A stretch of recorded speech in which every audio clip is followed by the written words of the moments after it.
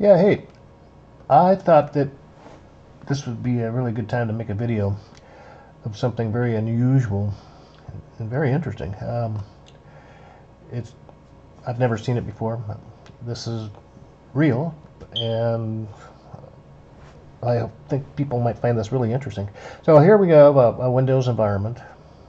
You know, it, um, I'm using the Microsoft Edge. Um, there's nothing you know, too interesting about that. Um, here's the, um, the start and the applications that are in the Windows. Um, you know, and this is a, a, newer computer. I don't have much installed on it. But now, this is going to be really kind of a mind blower for some people. It's going to take a, a while to really kind of get your minds wrapped around this. But um, when I minimize the browser, we are now in the Windows subsystem Linux system uh, environment. I've got a, um, a graphical user interface uh, in the Linux uh, subsystem. And this is a fully operational subsystem that's operating in the same Windows desktop as the Windows. Um, here's the applications. Um, all the different uh, apps that come with the um, subsystem. And here is, when I click down here, here are all the Windows apps. And like I said, this will take a little time to get you to get used to seeing this because I thought, you know, I couldn't figure out what I was seeing when, when I first had this open up. Um, because it doesn't, you know, it didn't make sense because, you know, you have the subsystem and then you have the windows and they're separated and everything's separated and they're not in one desktop. And particularly you know being able to copy and paste between between the different apps. So um, here's um, a terminal for um, the Linux and it opens up to a root. I'll change that to a, um, a non-root. I'll just change that to my regular username. So here's the Linux terminal and here is the Windows terminal. This is the PowerShell. Uh, I can open up command prompt or any of the other shells um, directory. Oops. Wrong keyboard. It wasn't the right keyboard. Oh, yeah. Directory. Um,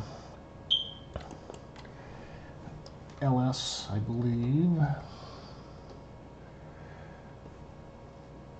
Okay, well that's to be expected.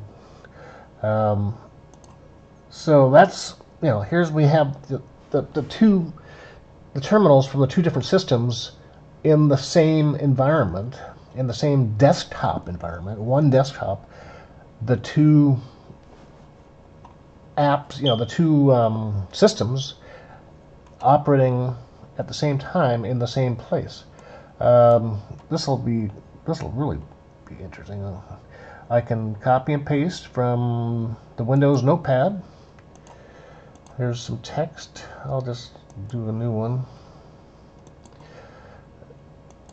Here's um, text, some Windows. Text.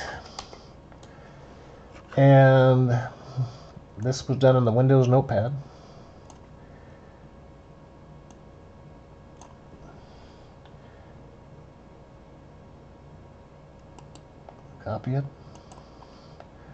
Let's paste that into the Windows command prompt. It won't do anything, but um, let's paste it over here into the Linux terminal. Now, how's that for cool? Copying, pasting from one text editor into the apps that are in either of the systems. So, you know, this is really, really, really, really very interesting. Um, the only thing I haven't been able to do is um, I demonstrated that the, the, the browser works fine in Windows, no problem. Close it, open it, and um,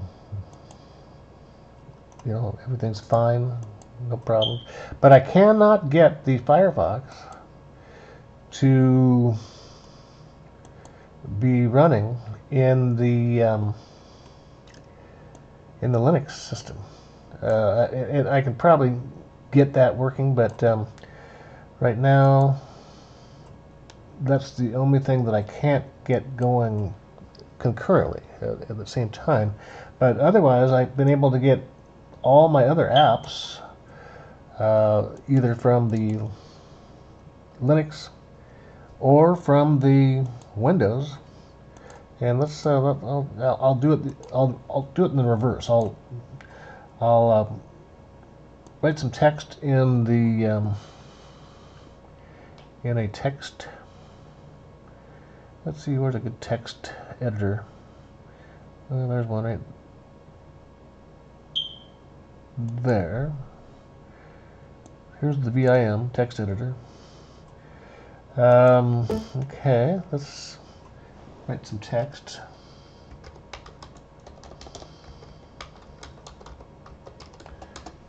And I, had, I haven't tried storing it yet, but I'm sure I can. That was going to be Control O, if I remember. Control O? Or is it... Let's see. I'm not nearly as good with uh, the Linux as I am with the um, with the um, Windows. Let's see. I don't remember how to save. I thought it was Control O. Control O. Control insert. Okay. Um, I don't know this text editor very well, uh, but so I don't know how to save it. Um,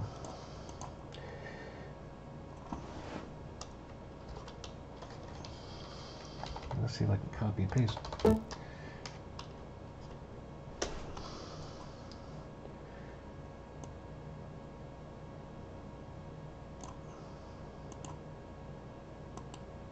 Copy. Okay, so I'm copying some text from the Linux um,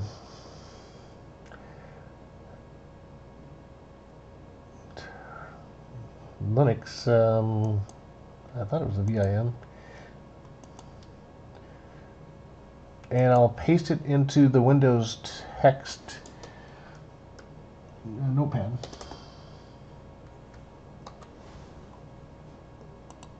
Paste some text. So that was um, simply going from, I don't need this terminal open anymore. I will close that terminal.